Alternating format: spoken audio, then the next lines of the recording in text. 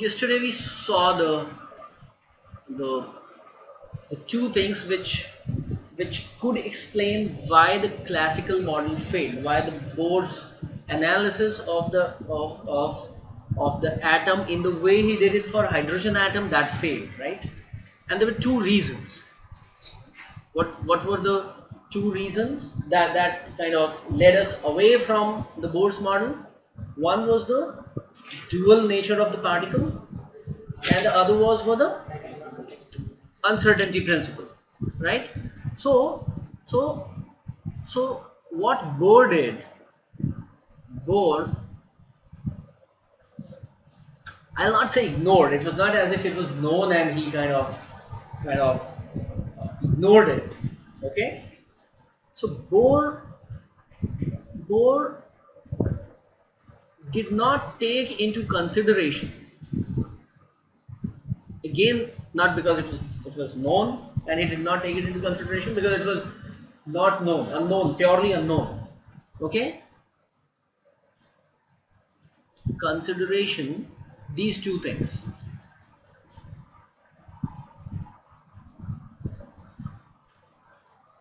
The following. The first thing that that escaped him was the dual nature of the particle the dual nature of the particle.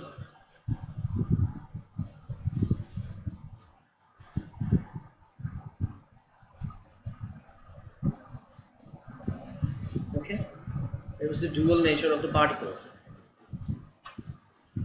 So so the particle apart from behaving like a like a particle also behaves like a wave. Okay? So so so so particle nature is pretty well well taken into account by the classical physics but it is the wave nature okay? Wave plus particle nature okay? So it was the wave nature. This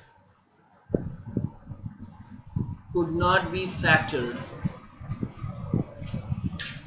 could not be factored in the classical approach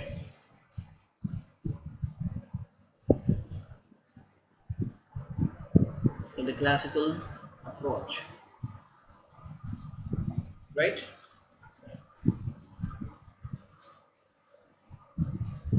Now the moment that started happening for the and we see that this becomes pretty pretty much much dominating for for a microscopic particle.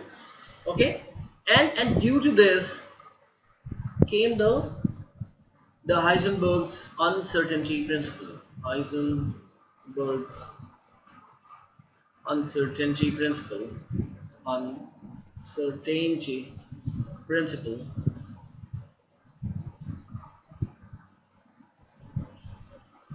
right? And what is that? That says that delta x into delta v the product of the the errors in position. Okay? The errors in position of the in, in position and velocity that has to be greater than h upon 4 pi m. Right? Now that tells us this thing tells us that that will not be thus a, a definite path cannot be taken.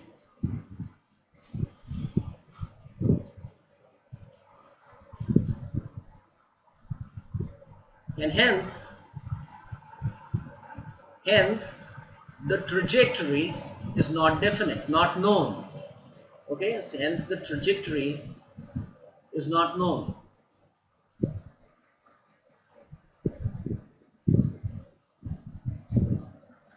Correct the trajectory is not known to you. And we kept on taking the fixed trajectory of, of a sphere right? Now that won't do. So in in one go it violated two of these these fundamental things which were very very important for the microscopic particles. We saw that particles above a milligram they actually are not bothered right? But the moment you go to these microscopic particles we did the calculations yesterday right? That that for a microscopic particle if you take if you wish to take the the error in the position to 10 to the power minus 4 meters your error in velocity became 10 to the power 4 meter per second. That's a huge amount of error right and and we have we we we, we took a, a real life example right? So it was this that led to the failure. Now once it led to the failure of it obviously anything that had to predict it with with accuracy had to take the the the, the take into consideration these two facts. Right and this is what the quantum mechanical model of the atom does. Okay? So that's why from a deterministic deterministic means from the model that says we know the position we know the position as well as velocity at all times. Position as well as velocity at all times. Okay? And by position you mean to say that you know the trajectory right? From here we moved on to the the probabilistic approach the probabilistic. Probabilistic.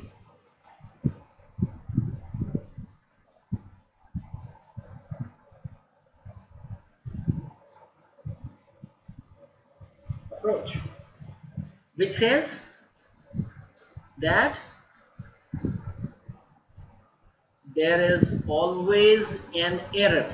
There is always okay there is always an error. In determining the position and the velocity of an electron right and and this is what is known as the the classical approach. This is the classical approach. Classical physics approach okay? And this is called the quantum mechanical approach.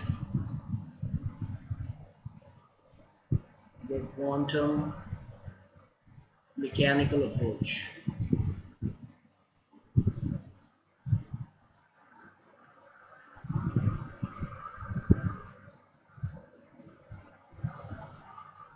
correct okay